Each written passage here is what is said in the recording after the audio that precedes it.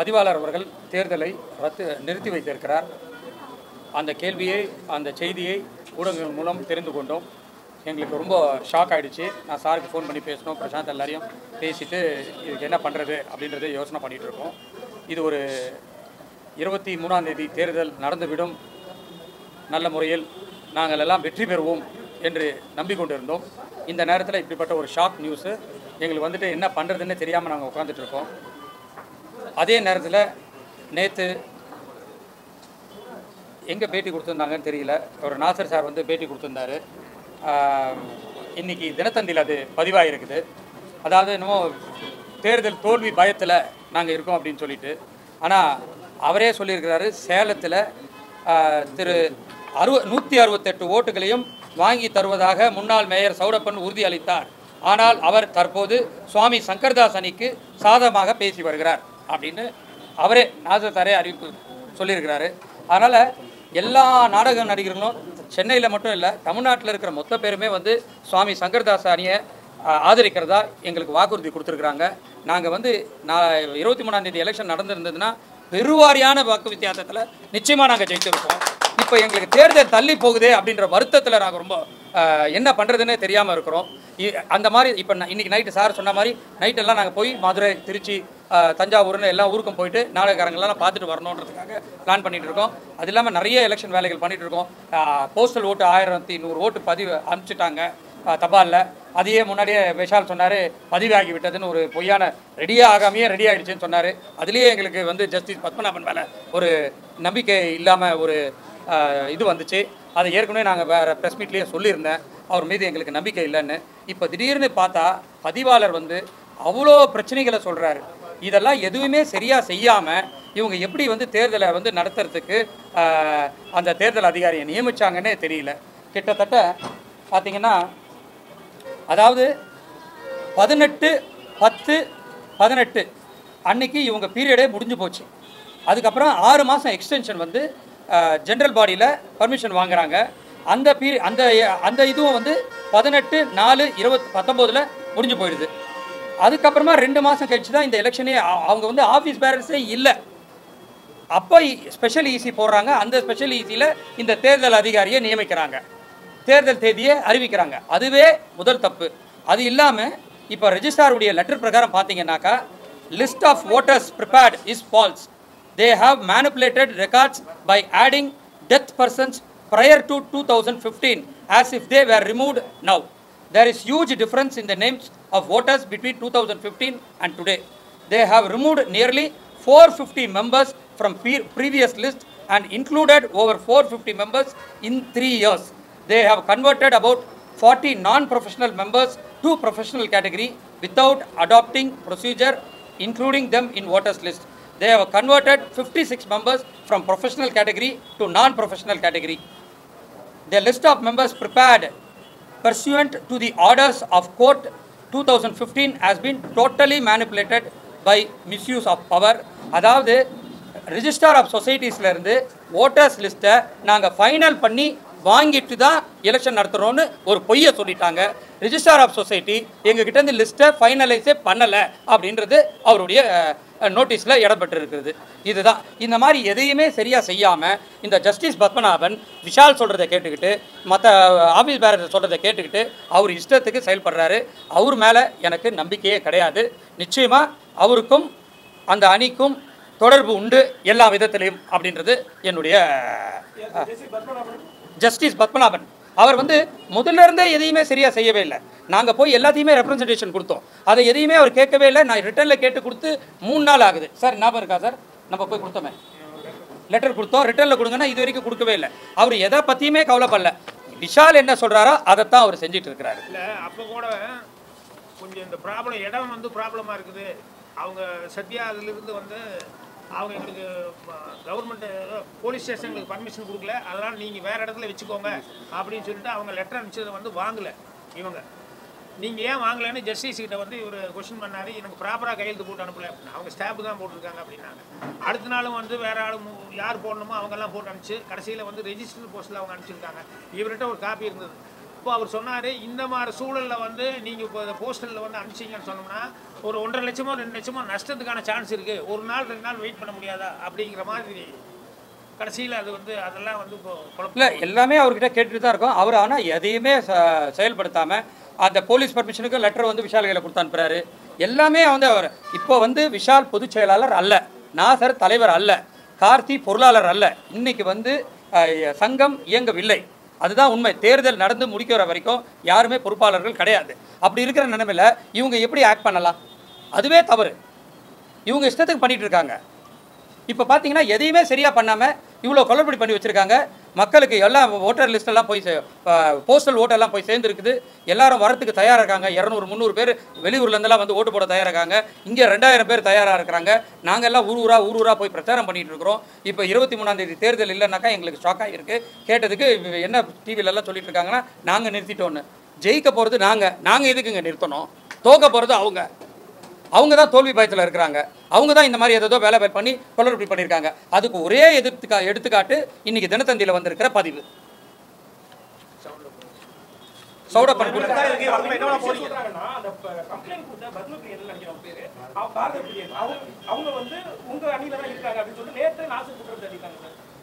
அதாவதுங்க அவங்க என்ன வேணாலும் குற்றம் சாட்டலாம். புரியுதுங்களா? தோல்வி பயத்தில் எது வேணாலும் செய்யலாம். ஒரு குரூப்பு தனியாகவே நிற்குது ஒரு கிட்டத்தட்ட எங்கள் அணின்னு நான் அறிவிச்சிருக்கிறேன் இருபத்தி நாலு பேர். அவ்வளோதான் ப்ளஸ்ஸு நாங்கள் அஞ்சு பேர். அதுதான் எங்களுடைய அணி. மற்றவங்களாம் எங்கள் அணி கிடையாது. சுயேட்சை வேட்பாளர்கள் செய்யறதுக்கெல்லாம் நாங்கள் பொறுப்பாக முடியாது.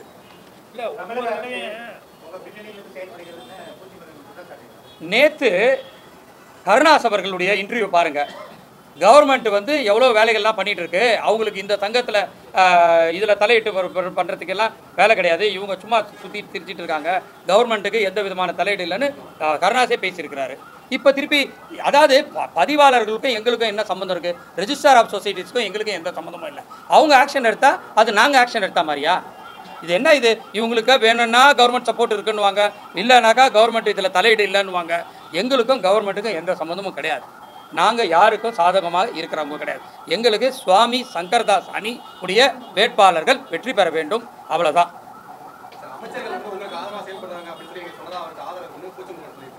பூச்சி முருகன் என்ன வேணாலும் சொல்லுவாருங்க. அதெல்லாம் அதுக்கெல்லாம் பதில் சொல்லவே முடியாதுங்க. தேவையான அவகாசம் இல்லை. அதன் காரணமாக தான் வந்து நீங்க தேர்தல் வந்து ட்ரை ஒரு குற்றச்சாட்டு இதை பத்தி நீங்க என்ன சொல்ல எங்களுக்கு நல்ல அவகாசம் இருக்குது நாங்கள் தேர்தல் பிரச்சாரம் எல்லாம் செய்து முடித்தாகிவிட்டது. அவங்கள விட நாங்கள் நல்லாவே பண்ணி வச்சிருக்கிறோம். எங்களுக்கு வந்து இன்றைக்கே தேர்தல் வைத்தாலும் நாங்கள் தான் வெற்றி பெறுவோம். விஷாலும் காரணம் ஜஸ்டிஸ் பத்மநாபன் தான் முதல் காரணம். அவரை நியமித்த விஷால் அதற்கு காரணம். ஜஸ்டிஸ் பத்மநாபன் அவர்கள் இந்த தேர்தலை ஒழுங்காக நடத்தியிருந்தால் அதாவது ஃபார்ம் செவன் ரெஜிஸ்டார் ஆஃப் சொசைட்டிஸ்லேருந்து முதல்ல என்ன செய்யணும் ஒரு election officer? Voter list authorised voter list யார் கொடுக்கணும்? ஆத்தரைஸ்ட் ஓட்டர் லிஸ்ட் ரிஜிஸ்டார் கிட்ட இருந்து வாங்கணும். அந்த ஓட்டர் லிஸ்ட்டே இல்லை அவர்கிட்ட. ஆத்தரைஸ்டு லிஸ்ட் இருக்குதான்னு கேளுங்க. ஆத்தரைஸ்ட் லிஸ்ட்டு இல்லை. அது இல்லாமல் எப்படி எலெக்ஷன் நடத்த முடியும்? இப்போ இவங்கள எடுத்துட்டாங்க அவங்கள எடுத்துட்டாங்க எல்லாரும் கோர்ட்டுக்கு போயிருக்காங்க. நாங்களா கோர்ட்டுக்கு போனோம். இன்னைக்கு கோர்ட்டில் வந்து ரெண்டு வாரம் கழிச்சு வாங்கன்னு சொல்லிட்டாங்க. கேள்விப்பட்டிருப்பீங்க?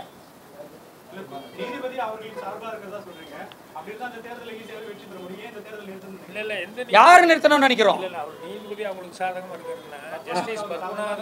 ஜஸ்டிஸ் பத்மநாபன் செய்வது அனைத்தும் தவறு. அவர் வந்து சரியா செய்யல. எலெக்ஷன் ப்ராசஸையே இஸ் நாட் கண்டக்டட் ப்ராப்பர்லி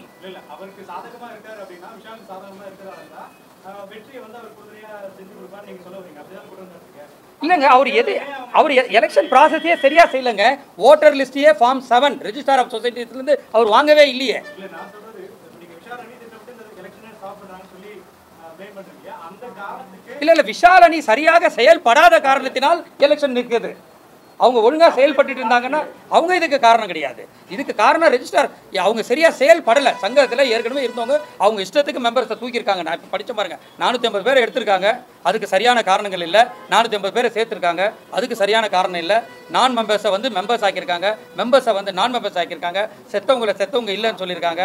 சாவாதவங்களை செத்துட்டாங்கன்னு சொல்லியிருக்காங்க. இதெல்லாம் அவங்க அஃபிடாவிட்ல ஃபைல் பண்ணியிருக்காங்க இவ்வளோ குளறுபடிகள் பண்ணியிருக்கிறாங்க. இந்த குளறுபடிகள் அனைத்தும் இப்போ ரிஜிஸ்டர் ஆஃப் சொசைட்டி வந்ததுக்கு அப்புறமா தான் எங்களுக்கே தெரிய வருது.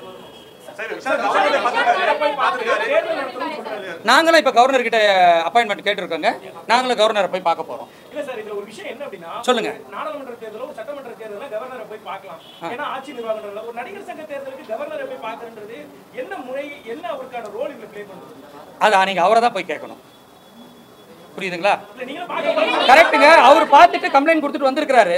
நாங்கள் பார்த்துட்டு எங்கள் கம்ப்ளைண்ட் எல்லாம் அவருக்கு கொடுக்க போகிறோம் ஏன்னா அவர் கவர்னர் ஆளுநர் அவர். புரியுதுங்களா? அப்புறம் நாங்கள் பார்க்கலன்னா அப்புறம் நாங்கள் செஞ்சு தப்பாக போயிடும். அவர் செஞ்சது ரைட் ஆகிடும் அதனால் நாங்களும் போய் பார்த்து அவருக்கு கொடுக்க போகிறோம் அவ்வளோதான் என்ன கம்ப்ளைண்ட் கொடுத்தாங்கன்னு தெரிஞ்சுக்கிட்டா? அதுக்கு போய் நாங்களும் அவர்கிட்ட கொடுக்க போகிறோம் கம்ப்ளைண்ட்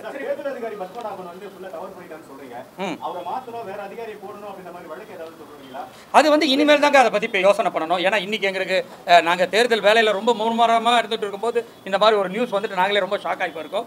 இனிமேல் தான் அடுத்த கட்ட நடவடிக்கை என்னன்றதை பார்க்கணும். சார் இப்போ ஹைகோர்ட்ல எதுவும் புதுசா பெட்டிஷன் ஃபைல் பண்ற மாதிரி இருக்கா? ஏன்னா புதுசா ஒரு ஏன்னா இருக்கிற பத்மநாபன் வந்து கோர்ட்னால நியமிக்கப்பட்டவர் கிடையாது. அவங்க தான் நியமிச்சுக்கிட்டவங்க தான் ஆமா. புதுசா வந்து ஒரு தேர்தல் அலுவலரை நியமிக்கணும். அந்த மாதிரி கேஸ் போடுற எண்ணம் எதுவும் இருக்கா? அதுதாங்க இப்போ இன்னைக்கு இடம் தர கேஸ் ஒன்று வந்துச்சு. அதில் வந்து ரெண்டு வாரம் கழித்து தள்ளி போட்டுட்டாரு ஜஸ்டிஸு இன்னொரு கேஸு நாளைக்கு வர இன்னைக்கு வந்துச்சு. அதை வந்து நாளைக்கு தள்ளி போட்டிருக்காங்க. அதனால் அதெல்லாம் என்ன நடக்குதுன்னு பார்த்துட்டு தான் அதுக்கப்புறமா எங்களுடைய நடவடிக்கை எடுக்கப்படும். இதுல அந்த இடத்துல தேர்தல் நடக்கிற இடத்துல எஸ்வி சேவரம் டிராமா போடுறதுக்கு பர்மிஷன் வாங்கியிருக்காங்க எங்க அ- அதை பற்றி கருத்து குறை எனக்கு விருப்பம் இல்லைங்க. அதை விட்டுடுங்க. தயவு செஞ்சு. அது வந்து அவங்க வந்து முதல்ல இங்கே வந்து இன்ஃபார்ம் பண்ணிட்டாங்க தேர்தல் அதிகாரிக்கு. என்னன்னா எங்களுக்கு போலீஸ் ஸ்டேஷனில் பர்மிஷன் இல்லை.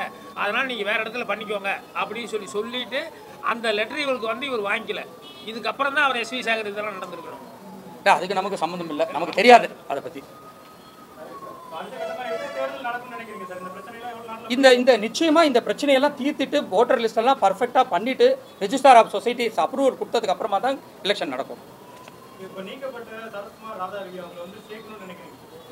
நியாயம் எதுவோ அதை வந்து நாங்கள் சேர்க்கறதுக்கோ எடுக்கிறதுக்கோ நாங்கள் அதிகாரி கிடையாது. அது வந்து பதிவாளர் தான் அதுக்கு முடிவெடுக்கணும் நியாயமாக இருந்தால் சேர்ப்பாரு நியாயம் இல்லைன்னா விட்டுடுவாங்க. அதுக்கு எங்களுக்கு எந்த இதுவும் தெரியாது. ஆனால் எடுத்தவங்க எல்லாம் தவறு. அவங்கள எல்லாரையும் சேர்க்கணுன்றது தான் எங்களுடைய குறிக்கோள். யார் ராதாரவி சரத்குமாரை மட்டுமல்ல யாரெல்லாம் இவங்க நீக்கினார்களோ அனைவரையும் சேர்க்க வேண்டும். அதுதான் எங்களுடைய கோரிக்கை. ஏன்னா த- த- தவறு செய்தவர்கள் செய்யாதவர்கள் எல்லாரையுமே தூக்கிட்டாங்க. அவங்களுக்கு எலெக்ஷனுக்கு எதிர்க்க எதிர்த்த வேலை செஞ்சாங்க அப்படின்ற ஒரு பழி வாங்கும் படலத்தை பண்ணியிருக்காங்க. இது வந்து நியாயமே நடை கிடையாது. இது ஏற்றுக்கொள்ளவே முடியாது. பாவம் ஞானக நடிகர் வயிற்றில் அடிக்கிற செயல். நடிகர் சங்க கட்டிடம் அப்புறம் பொங்கல் பரிசு தீபாவளி பரிசு அப்படின்ற விஷயங்கள்லாம் வந்து உங்களுக்கு பாதிப்பு ஏற்படுத்தி அதெல்லாம் ஏங்க அதெல்லாம் ஒரு பாதிப்பாங்க. அதெல்லாம் ஒரு பாதிப்பெல்லாம் கிடையாதுங்க.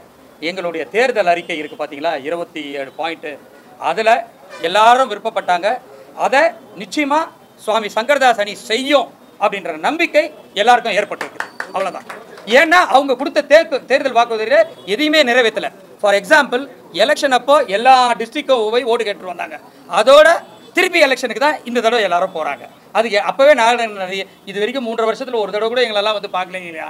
நிறைய பேர் கேட்டிருக்காங்க இனிமேல் நாங்கள் வருவோம் இனிமேல் நாங்கள் வருவோம் அப்படின்னு சொல்லிட்டாங்க அதனால் எங்களுக்கு எல்லா நடிகர் நடிகைகளும் உறுதுணையாக இருக்கிறார்கள். நிச்சயமாக என்றைக்கும் தேர்தல் வைத்தாலும் நாளைக்கும் தேர்தல் வைத்தாலும் சுவாமி சங்கரதாசனி தான் வெற்றி பெறும்.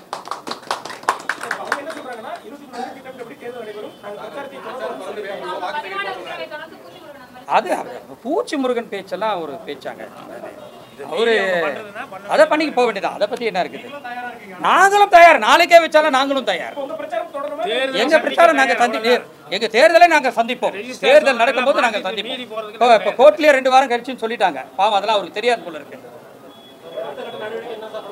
அது நாங்க கூடி பேசி தாங்க முடிவெடுக்கணும்